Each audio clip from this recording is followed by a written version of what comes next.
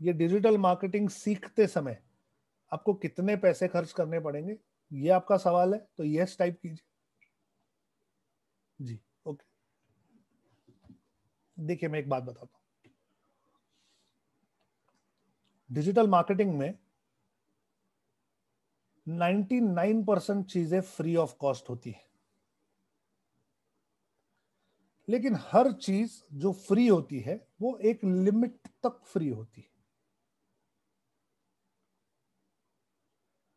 एक लिमिट से आगे जब आप उस चीज़ को यूज़ करेंगे या यूज़ करना चाहेंगे तो कोई भी आपसे पैसे मांगेगा।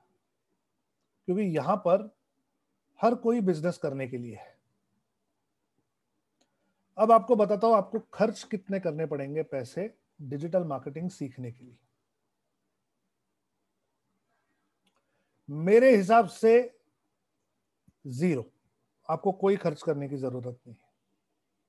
अब मैं ये क्यों कह रहा हूँ? सबसे पहला खर्च जो मैं आप लोगों को करने के लिए बोलता हूँ, वो ये है कि आप अपना डोमेन खरीद लीजिए। डोमेन यानी कि आपका डिजिटल नाम, आपका एड्रेस, www.amazon.com ये क्या है? ये डोमेन है। www.digitalazadi.com ये क्या है? ये डोमेन है। मैं कहता हूँ आप ये डोमेन खरीद लीजिए। इसका मतलब ये नहीं होता कि डिजिटल मार्केटिंग सीखने के लिए आपको डोमेन खरीदना ही पड़ेगा। ऐसा नहीं है। मैं कहता हूँ आप डोमेन परचेज कीजिए, क्योंकि जब आप सीख रहे हैं, तभी आप इंप्लीमेंट करना शुरू करेंगे। और सीख कर इंप्लीमेंट करते करते आपकी जो डिजिटल प्रॉपर्टी है, ये जो वेबसाइट है, ये जो यूआरएल है, जो डोमेन है, ये आपकी प्रॉपर्टी है। ये क्रिएट हो जाएगी। आपको double efforts double time waste नहीं करना पड़ेगा। अगर आप कहेंगे कि यार मैं फिर वेबसाइट कैसे बनाऊँगा, मैं ब्लॉग कैसे करूँगा तो वर्ड पर चले जाइए और फ्री में आप अपना ब्लॉग खड़ा कर सकते हैं। डोमेन की ज़रूरत नहीं पड़ेगी। ब्लॉगर डॉट कॉम पे चले जाइए, अपना ब्लॉग आप फ्री में खड़ा कर सकते हैं, आपको ज़रूरत नहीं पड़ेगी। अगर गूगल माई बिज़नेस में आप अपना लिस्टिंग कर लें, अपना नाम दर्ज कर ले तो गूगल आपको वन पेज की वेबसाइट फ्री देता है। वर्डप्रेस की नहीं, लेकिन उनका खुद का एक सिस्टम है, वो आपको फ्री दे देगा। लेकिन आज नहीं तो कल 100 परसेंट हम में से हर किसी को वेबसाइट की ज़रूरत पड़ने ही वाली है। मैं लिख के दे सकता हूँ अब वेबसाइट कैसे, क्यों रिक्वायरमेंट है, कैसे बनाऊँगा, किसकी बनाऊँगा? समझिए इसको। सिंपल है। अगर आपका कोई बिज़नेस है तो सीधे सीधे अपने बिज़नेस की आप वेबसाइट बना लीजिए। उस पर प्रैक्टिस कीजिए, आपके बिज़नेस का भी फ़ायदा हो जाएगा, आपका भी फ़ायदा हो जाएगा। लेकिन आपका कोई बिज़नेस नहीं है तो आप अपनी पर्सनल वेबसाइट बनाइए। संदीप बंसाली डॉट कॉम लीजिए और वेबसाइट बनाइए। मतलब योर नेम आपका जो भी नाम है डॉट कॉम खरीदिए और अपनी वेबसाइट बनाइए। अब सवाल है कि मैं अपनी वेबसाइट पर डालूँगा क्या? मैं तो आम इंसान हूँ। कोई बात नहीं। आप अपने बारे में डालिए। आप क्या सोचते हैं उसके ऊपर लिखिए। आप जो सीख रहे हैं उसके बारे में लिखिए। आज आप कॉमन है। सही तरीके से चलते रहे तो बहुत जल्द आप स्पेशल बन जाएँगे। तो आप आगे चलकर जो भी मेहनत करने वाले हैं, उसके लिए सबसे पहले अपनी ओनरशिप बना लीजिए। इसीलिए मैं कहता हूँ डोमेन ले लीजिए। अब डोमेन ले लिया तो होस्टिंग एक ऐसी चीज़ है जो हाँ थोड़ी सी महँगी है, लेकिन वो खर्चा एक बार के लिए बाँध लेना चाहिए। हज़ार रुपए का बजट डोमेन के लिए काफ़ी है। अगर आप एक डिसेंट सा डोमेन लेना चाहते हैं और होस्टिंग जो है, ये करीबन डेढ़ सौ से दो सौ रुपया महीना मांगती है, यानी दो हज़ार चौबीस सौ रुपया साल का। चौबीस सौ रुपया होस्टिंग हज़ार रुपया डोमेन थर्टी फोर हंड्रेड, मैं बोलता हूँ फाइव थाउज़ेंड रुपीज़ का बजट लेकर चलिए। आगे चलकर जब आप फेसबुक एड सीखेंगे यूट्यूब एड सीखेंगे गूगल एड सीखेंगे तो मैं आपको सजेस्ट करूँगा कि एक 300-400 रुपया खर्च करके आप एक एड रन कीजिए। क्योंकि मैं चाहे जितना ही आपको सिखा लू, आप समझ सब कुछ जाएँगे। लेकिन एक 200-300 रुपए की भी एड अगर आप रन करेंगे तो आपको अनुभव आएगा। आपको प्रैक्टिकली समझ में आ जाएगा कि कहा क्या यूज़ करते हैं।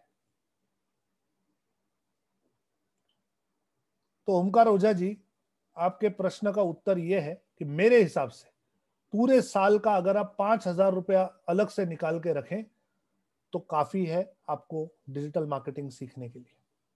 Five thousand rupees is my answer to you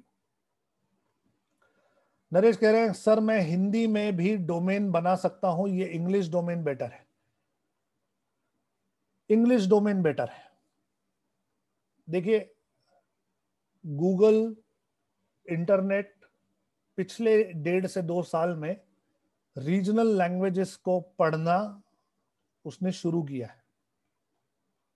लेकिन अभी इसमें प्रोग्रेस होने में टाइम है।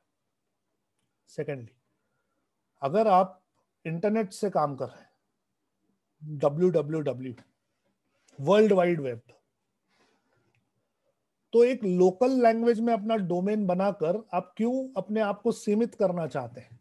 मैं रेकमेंड करूँगा इंग्लिश नरेश जी कह रहे हैं, जिस नाम से मेरा फेसबुक पेज है, उसी नाम से वेबसाइट बनाई जाए, ये अपने नाम से। देखिए, नरेश जी, ये दो अलग अलग चीज़ें हैं। आपको किस तरफ़ आगे बढ़ना है, ये आपको डिसाइड करना है। पर्सनल ब्रांडिंग यानी आपका नाम। Sandeep Bansali dot com personal branding digital Azadi dot com ये मेरा बिज़नेस है। ये मेरा प्रोफेशन है। ये मेरी आइडिया है। ये मेरा ब्लॉग है। नरेश कह रहे हैं, क्या फेसबुक पेज के साथ वर्डप्रेस करना ज़रूरी है? नरेश जी, मेरे हिसाब से वर्डप्रेस ज़रूरी है, क्योंकि फेसबुक जो है, ये एक सोशल मीडिया का प्लेटफॉर्म है। इसका कोई भरोसा नहीं है। ये आज है, कल नहीं होगा। आप फेसबुक पेज पर मेहनत करेंगे, अपना पेज लाइव करेंगे पोस्टिंग्स करेंगे, हज़ारों, लाखों व्यूज़ आएँगे, लोग लाइक करेंगे ज्वाइन करेंगे। और अगर किसी दिन फेसबुक ने पेज उड़ा दिया तो क्या कर लोगे? फेसबुक पेज थर्ड पार्टी है। आपकी वेबसाइट ये आपकी प्रॉपर्टी है। इन दोनों का अंतर समझिए। कोई कंपैरिजन नहीं है। कई बार हमारा मन हमसे कहता है, यार, वेबसाइट छोड़ो यार, वेबसाइट का हम क्या करेंगे? हमें कोई उपयोग नहीं है, क्या फ़ायदा? ट्रस्ट मी वेबसाइट, देखिए, लोकनीति में ना सिर्फ़ दो ही ऐसी चीज़ें एक्चुअली डिजिटल आज़ादी में सिर्फ़ दो ही ऐसी चीज़ें हैं, जिन्हें मैं शस्त्र कहता हूँ। बाकी सब अस्त्र है। फ़र्क समझाऊं? कोई चीज़ कोई भाला, कोई तीर, हम किसी पे प्रोजेक्ट करते हैं, फेंक कर मारते हैं तो उसे अस्त्र कहते हैं। ये चला जाता है हमसे दूर। ये यूज़ होके खत्म हो जाता है। शस्त्र होती है तलवार, जो हम हमेशा हमारे पास रखते हैं। इसीलिए वेबसाइट को कहते हैं शस्त्र। ये हमेशा आपके साथ रहेगा, आपके क्लोज। आपका, ये कभी आपको छोड़कर नहीं जाएगा।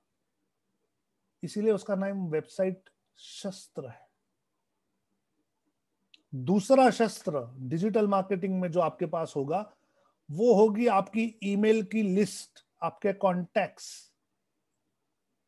डिजिटल मार्केटिंग के क्षेत्र में सिर्फ़ दो ही शस्त्र हैं। वेबसाइट और आपकी लिस्ट। आपकी ईमेल मार्केटिंग की लिस्ट, ये मेरी बात हमेशा याद रखना। इसलिए वेबसाइट ज़रूरी है, फेसबुक का पेज सेकंड आएगा। शिशुपाल चौधरी जी कह रहे हैं, होस्टिंग क्या होता है?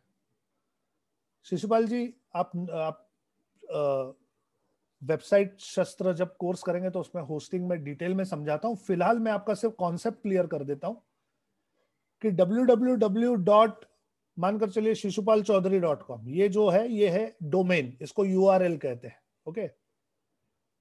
तो इसको जब टाइप करेंगे तो आपकी वेबसाइट खुलेगी।